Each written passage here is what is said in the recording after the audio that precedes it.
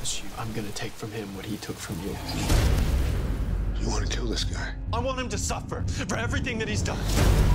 A race, Barry, between you and me to see who's the fastest man alive.